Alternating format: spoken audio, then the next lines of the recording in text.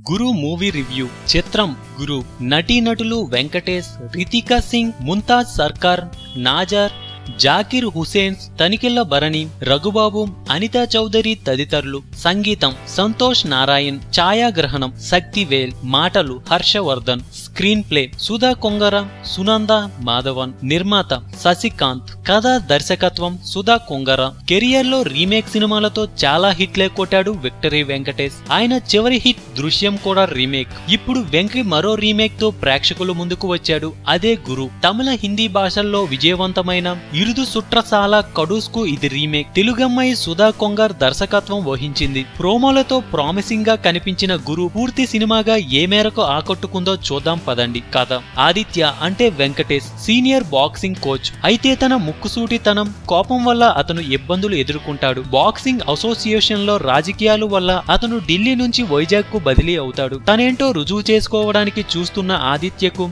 రామేశ్వరి కనిపిస్తుంది. అంటే రితికా సింగ్. కూరగాయలు అమ్ముకొని బతికి పేదింటి అమ్మాయి అయిన రామేశ్వరిలో ఉన్న టాలెంట్ గుర్తించి ఆమెకు బాక్సింగ్ శిక్షణ ఇవ్వడం మొదలు పెడతాడు ఆదిత్య. అయితే ఈ క్రమంలో ఆదిత్య రామేశ్వరి ఇద్దరూ అనేక ఒడిదొడుకులు ఎదుర్కొంటారు. వాటిని అధిగమించే ఆదిత్య రామేశ్వరిని ఛాంపియన్ బాక్సర్గా ఎలా తీర్చిదిద్దాడన్నది మిగతా కథ. కథనం విశ్లేషణ. తెలుగులో క్రీడల నేపథ్యంలో వాస్తవానికి దగ్గరగా సినిమాలు తెరకెక్కడం అరుదు. అశ్విని లాంటి ఒకటి ఆరా సినిమాలు మాత్రమే కనిపిస్తాయి. తమ్ముడు కబడ్డీ కబడ్డీ ఒక్కడు అమ్మా నాన్న ఓ తమలమ్మాయి లాంటి స్పోర్ట్స్ బేస్డ్ సినిమాలు వచ్చాయి కానీ వాటిలో కమర్షియల్ టచ్ ఎక్కువగా ఉంటుంది రియలిస్టిక్గా ఉండవు. అలా కాకుండా క్రీడాకారులు కష్టం ఎలా ఉంటుందో వాళ్ళెలా ట్రైన్ అవుతారో ఓ కోచ్ తన స్టూడెంట్ కోసం ఎంతలా తప్పిస్తాడో క్రీడా సంఘాల్లో రాజకీయాలు ఎలా ఉంటాయో వాస్తవానికి దగ్గరగా ఉండేలా చూపిస్తూ తెరకెక్కిన ఇన్స్పైరింగ్ మూవీ గురు. బహుశా తెలుగులో ఈ తరహా సినిమా ఇదే మొదటిది కావచ్చు. క్షేత్రస్థాయిలోకి వెళ్ళి పరిశోధిస్తే మనుషుల జీవితాన్ని పరిశీలిస్తే గొప్ప కథలు బయటికి వస్తాయి.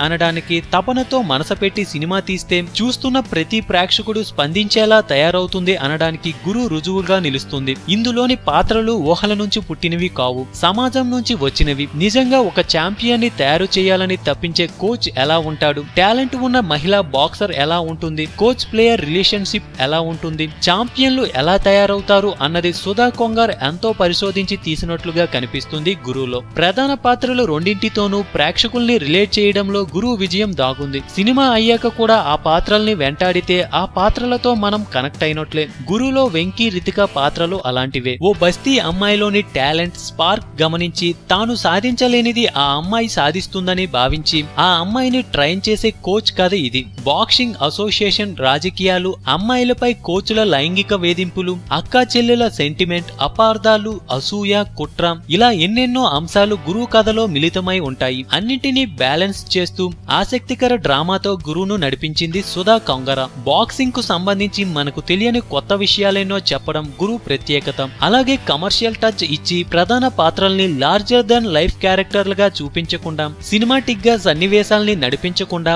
వాస్తవానికి దగ్గరగా సినిమాను తీర్చిదిద్దడం వల్ల కూడా గురువు ప్రత్యేకంగా అనిపిస్తుంది. హీరో పాత్ర పరిచయం దగ్గర నుంచే గురువు కొత్తగా అనిపిస్తుంది. తెర మీద ఆదిత్య కనిపిస్తాడు తప్ప వెంకీ కనిపించడు. బిల్డప్లేమీ లేకుండా ఒక సన్నివేశం సన్నివేశంలో భాగంగా హీరో పాత్ర మామూలుగా పరిచయం అవుతుంది అక్కడ నుంచి కథ కూడా మొదలైపోతుంది. హీరోయిన్ పాత్ర కూడా అంతే. లీడ్ క్యారెక్టర్ రెండు కూడా టిపికల్గా కొంచెం తలతిక్కగా ఉండటంతో ఆ రెండు పాత్రల మధ్య వచ్చే సన్నివేశాలు కూడా ఆసక్తికరంగా సాగుతాయి. ఆరంభ సన్నివేశాలు తరువాత వెంకీ పాత్ర బ్యాక్ సీట్ తీసుకుంటే రితిక లీడ్ తీసుకుంటుంది. ఆమె నటన యాటిట్యూడ్ ప్రేక్షకుల దృష్టిని పక్కకు పోనివ్వవు. స్వతహాగా మార్షల్ ఆర్ట్స్ వచ్చిన అమ్మాయి కావడంతో బాక్సర్ పాత్రలో రితిగా అదరకొట్టేసింది వెంకీ రితికా మధ్య వచ్చే సన్నివేశాలు కొత్తగా ఆసక్తికరంగా ఉండటంతో ప్రథమార్థం శరవేగంగా సాగిపోతుంది. ఇంటర్వెల్ ముందు డ్రామా మలుపు ఆకట్టుకుంటుంది. అయితే ద్వితీయార్థంలో కథనం కొంచెం గాడి తప్పుతుంది. వెంకీ పాత్రతో తెర మీద నుంచి పక్కకు తప్పుకున్నాక వచ్చే సన్నివేశాలు అంత ఆసక్తి రేకెత్తించవు. కథనం కొంచెం సాగతీతగాను అనిపిస్తుంది. వెంకీ పాత్ర ఎప్పుడు మళ్ళీ సీన్లోకి వస్తుందా అని ప్రేక్షకులంతా ఎదురు చూస్తారు ఆ పాత్ర పునరాగమనంతో మళ్ళీ కథనం ఊపందుకుంటుంది. ప్రీ క్లైమాక్స్ క్లైమాక్స్ ఎమోషనల్గా సాగుతాయి. పతాక సన్నివేశం ఉత్కంఠ రేకెత్తిస్తుంది. బౌట్ అయ్యాక వెంకీ రితిక మధ్య వచ్చే సన్నివేశం సినిమాలో హై పాయింట్. ఎమోషనల్గా కదిలించే ఆ సన్నివేశాన్ని తెర మీద చూడాలి. నిడివి తక్కువ ఉండటం ప్లస్ అయితే గురువులో ప్రతికూలతలు లేకపోలేదు. కమర్షియాలిటీకి దూరంగా ఉండటం వల్ల గురు అన్ని వర్గాల ప్రేక్షకులకు నచ్చకపోవచ్చు. కథగా చూస్తే గురు అంత కొత్తగా ఏమీ అనిపించదు. ఓ దశ దాటాక సినిమా ఎలా సాగుతుందన్నది అంచనా వేసేయవచ్చు. ద్వితీయ అర్థంలో వచ్చే మలుపు నాటకీయత ప్రేక్షకుడు ముందే ఊహించే చేయగలడు. ఇక తమిళ వర్షన్ చూసిన వాళ్ళకు ఇది జిరాక్స్ కాపీలా అనిపిస్తుంది. తేడా ఏమైనా ఉందంటే అది వెంకీ పెర్ఫార్మెన్స్. అయితే ఒరిజినల్లోని ఫీల్ ఎమోషన్లు తెలుగు ప్రేక్షకుల్లోనూ కలిగించడంలో సుధా విజయవంతమైంది. నటీ నటులు వెంకటేష్ రితికా సింగ్ ఇద్దరూ ఇద్దరే. ఎవరికి ఎవరూ తీసిపోకుండా అద్భుతంగా నటించారు. ఒరిజినల్లో మాధవన్ చూసి వారేవా అనుకున్న వాళ్ళు కూడా వెంకీని చూసి అలాంటి ఫీలింగే పొందుతారు. ఇక నేరుగా వెంకీని చూసిన వాళ్ళు మెస్మరైజ్ అయిపోతారు. సినిమాలో ఎక్కడా వెంకీ కనిపించడసలు అసలు ఇమేజ్ గురించి పట్టించుకోకుండా పాత్రకు తగ్గట్లుగా ఒదిగిపోయాడు వెంకీ. ఆయన సీరియస్గా నటిస్తే ఎంత బాగుంటుందో చెప్పడానికి ఈ సినిమా మరో రుజువు. వెంకీ కెరీర్ బెస్ట్ పెర్ఫార్మెన్స్లో ఇది ఒకటిగా నిలుస్తుంది. అగ్రెసివ్గా కనిపించే సీన్లో వెంకీ అదరగొట్టేశాడు అంతే. ఇంటర్వెల్ ముందు వచ్చే సీన్లో ఆయన హావభావాలు కట్టిపడేస్తాయి. ఇక రితికా సింగ్ గురించి ఎంత చెప్పినా తక్కువే. వెంకీ పాత్రలో ఇంకొకరిని ఊహించుకోగలమేమో కానీ రితికా విషయంలో ఆ ఛాన్సే లేదు. స్వతహాగా బాక్సర్ కూడా కావడంతో ఆమె ఈ పాత్రలో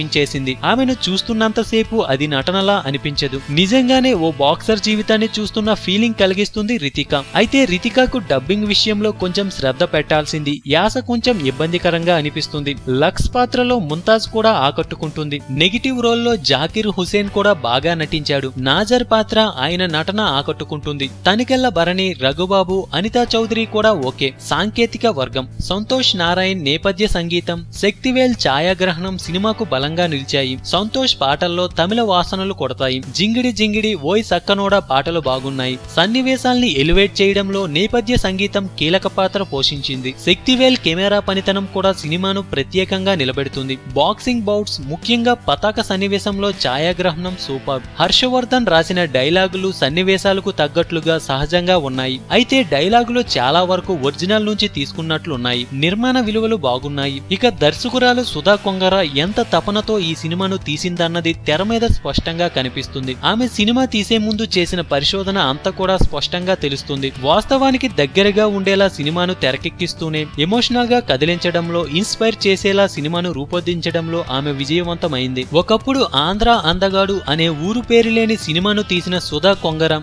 గురువు లాంటి సినిమా తీసిందంటే ఆశ్చర్యపోవాల్సిందే. చరిత్రను బట్టి చూస్తే ఒక లేడీ డైరెక్టర్ నుంచి ఇలాంటి సినిమా రావడం ఆశ్చర్యం కలిగించే విషయమే. స్పోర్ట్స్ డ్రామాల్ని ఎలా తీయాలో చెప్పడానికి సుధ ఒక గురువును ఒక ఉదాహరణగా నిలబెట్టిందనడంలో సందేహం లేదు. చివరగా గురు శిష్యులు మనుషులు గెలుస్తారు.